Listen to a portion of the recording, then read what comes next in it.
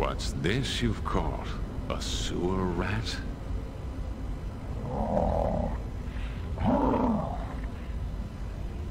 Don't hurt him. Lord Xantam will wish to speak to him, and he'll need to be in the best of health. Ah, excellent. I was expecting you. Did you receive the package from Lord Xantam? I... I did. And I have it with me. And you know where it is bound? He told me to take it to the crypts and place it within the Chamber of Ashes there. Excellent. The entrance you seek lies on the level below past the sewer grates. Let no one see you enter the temple and do exactly as you have been instructed. Now be on your way. I will return for the prisoner later. Guard him well.